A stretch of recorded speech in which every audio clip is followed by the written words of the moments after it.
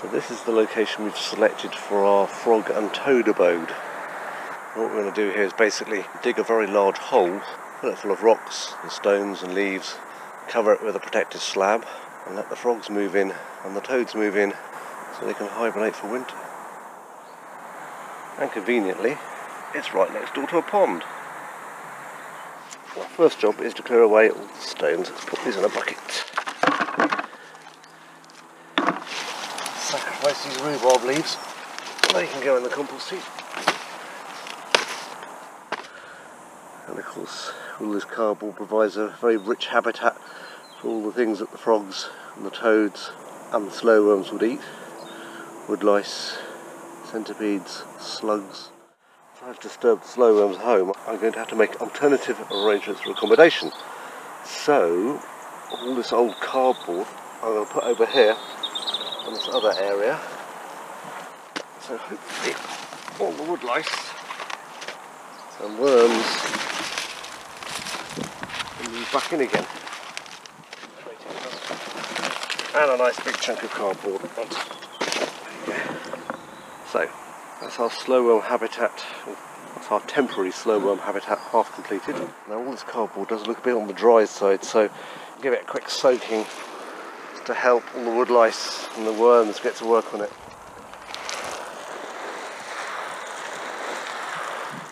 The next trick is the black plastic, which they tend to like a lot.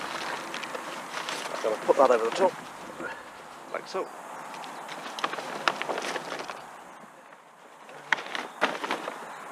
And weigh down with a few stones.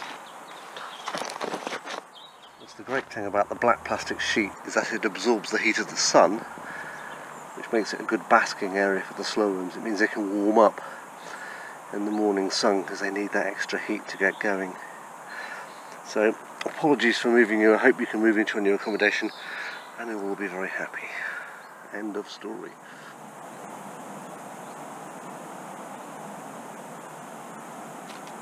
Hop, hop, hop. He's moving into the new home straight away. To carry on with this uh, preparing the frog and toad abode area. all this ground here hasn't been cultivated for many years and it's actually quite rock solid and very dry so I'm going to give it a quick soak with the watering can. And this just sort of helps to change the structure of the soil and makes it much easier to dig. Really good soaking.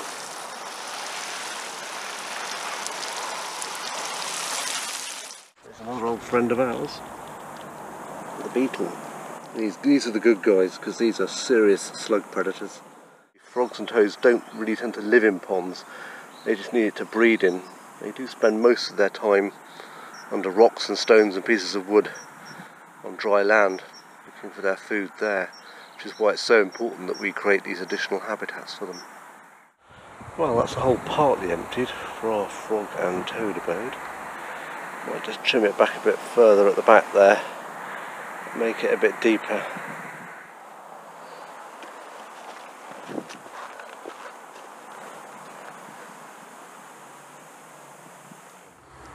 We're now on to the next phase of our construction of the frog and toad abode. As you can see, this is the sort of shape it's taking. It's about a metre, three quarters of a metre long, about a third of a metre wide. And we've dug right down into the subsoil there to make it really deep.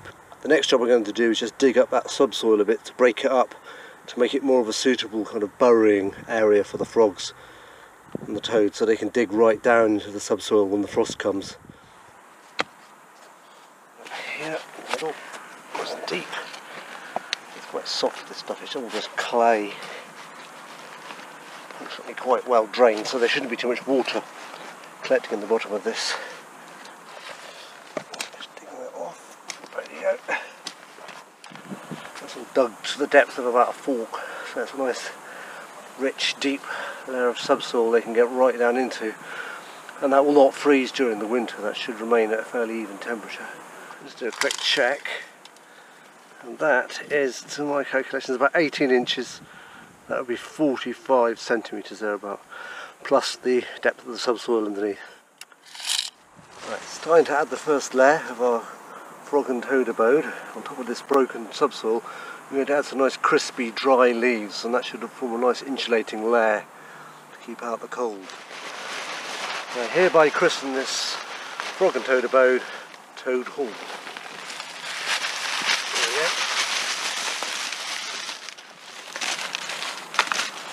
There. There's autumn leaves. I've got the bottom layer of our frog and toad abode uh, more or less completed.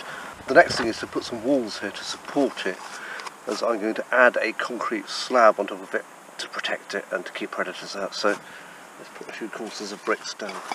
That's one there. Leave a few little gaps in between so they can crawl in between the between the gaps and hide if they have to do.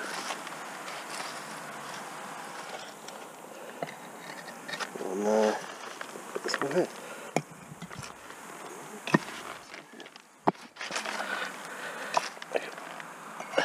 ready to have roof laid on top of it.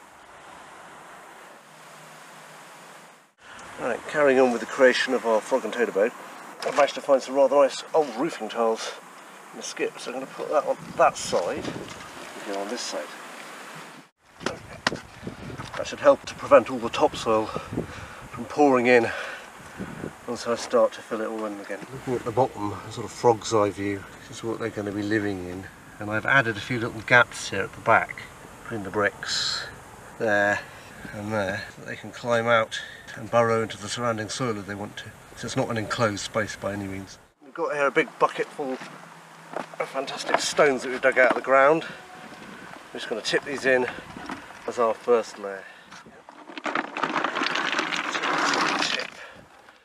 Evenly spread them out. And even. And that creates a kind of layer at the bottom. Frogs can sort of nestle in between those stones. Well, that's a big bucket full of pieces of wood. That's the next layer of frog and toad abode. Okay, so the objective here is to add another layer on top. What we need to do is ensure there's plenty of air gaps so that the frogs and toads and various other things can sort of creep in and find little crevices that they can overwinter in. So we have to be sure not to pack it in too tightly sort of layer it very carefully to leave those gaps. So let's add some wood. Centre.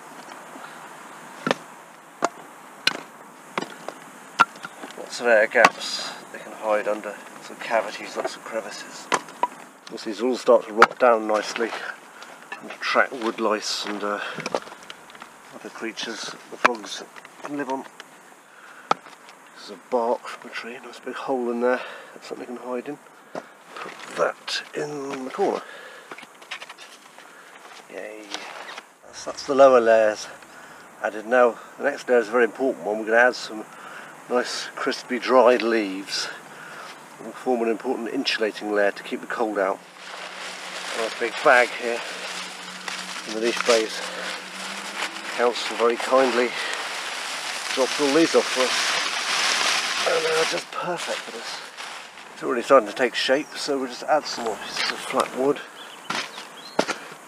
Let's add some stones. Now this will give a nice protective layer and keep out any predators. I'll create a reasonably even layer that still allows for any gaps in between that will allow our friends to snuggle down in the crevices there. Another layer done. I think on top we can add another layer of leaves. Give it that extra layer of insulation against the cold weather which will come. You know, no doubt we'll get a very heavily frosted winter, as we often do. We want to make sure our frogs and our friends are completely insulated from it. So that is nearly full to the brim. Look at that. And add a bit of cardboard. Again, more insulation, but also things like wood lice tend to really like cardboard, so this will attract lots of uh, little beasties here that can come in and be eaten by the frogs and toads. Before I put the roof on, I'm just going to build a little tunnel following this line here, dig a little trench under the grass, leave the turf in place, and should come out right here by the water's edge.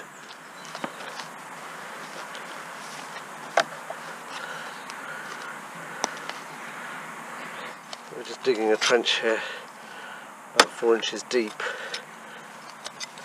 in between frog and toad abode and the pond. Allow the frogs and the toads to move between the pond and the frog and toad abode without coming into contact with any predators.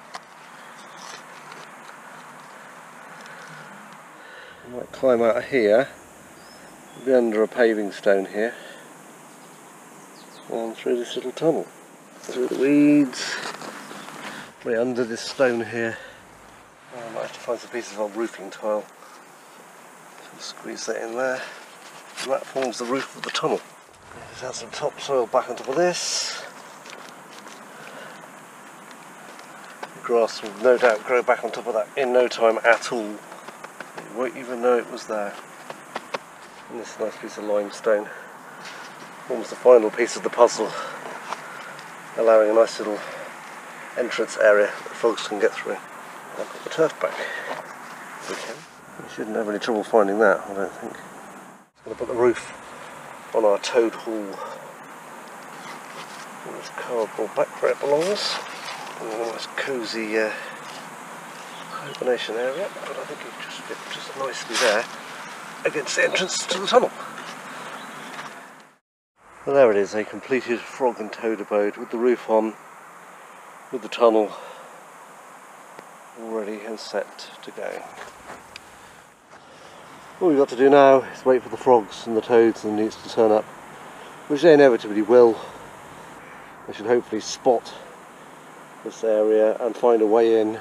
There's plenty of gaps and crevices. They'll spend the winter in there, and when the weather warms up in the spring, they can all come out again. There's a load of happy frogs, happy toads, happy newts. I hereby declare our toad hall is now open for business.